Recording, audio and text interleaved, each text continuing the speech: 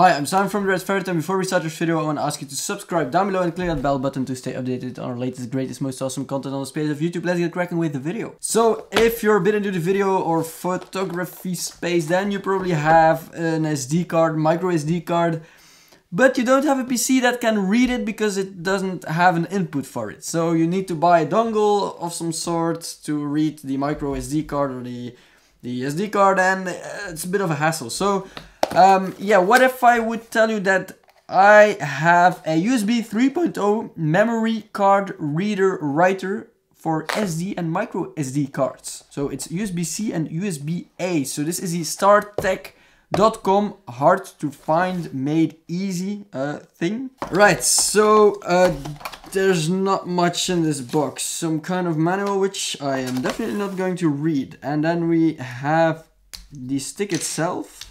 So this is what I mean by good products. You have the USB-C over here and the regular USB 3.0 over here. So for example, this cool fine MacBook Pro that I dropped on the side over here, yeah, costs around $2,000, but it only has four USB-C inputs.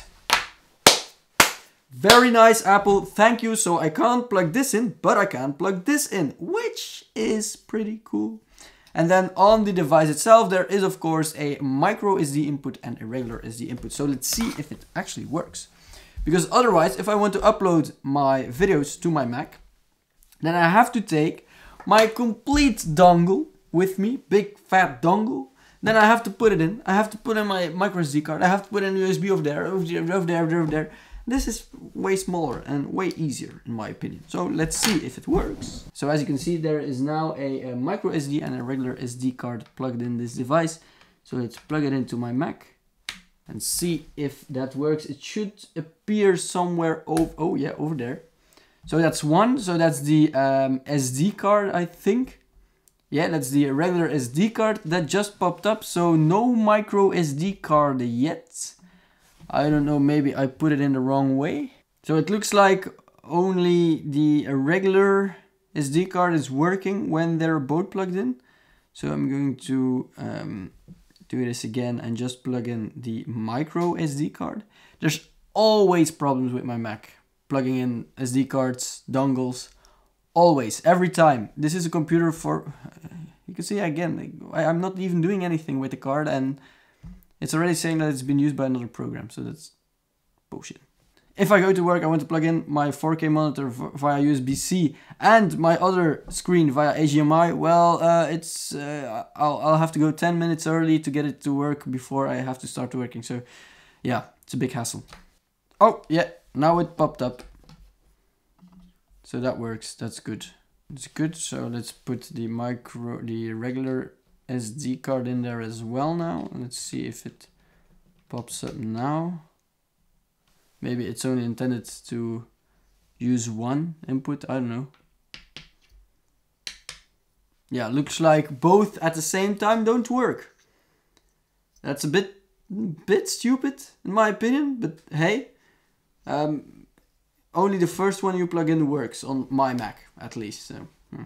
As you can see, it's, it's the size of a regular USB stick. It's very small and you can just plug it into your Mac and you have access to your micro SD card or regular SD card, which is not possible right now because I don't have an input, as you can see. So yeah, this is around 20 to 15 dollars depending on where you buy it. So it's actually pretty cheap for what it does.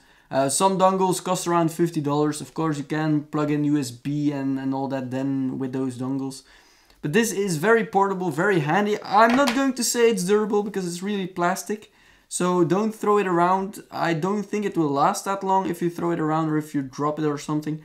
But yeah, overall for the price and if you're a um, bit of a computer guy with a lot of videos and photos and you don't need an external hard drive, for example, then this is pretty cool. Uh, this is a pretty nice device to take with you uh, for on the go. Um, it's easy to carry around and uh, it won't take up a lot of space or weight. Alright, I would say if you have any questions regarding this little thing, let them know in the comment section down below and I'll be very, very glad to help you. I hope you enjoyed this video. If you did, leave a like down below. If you didn't, leave a dislike and tell us why. Please tell us why. So we can improve our videos. And I hope I see you, yes, you who's watching this behind your phone or behind your computer screen, I don't know, in the next video. Bye bye.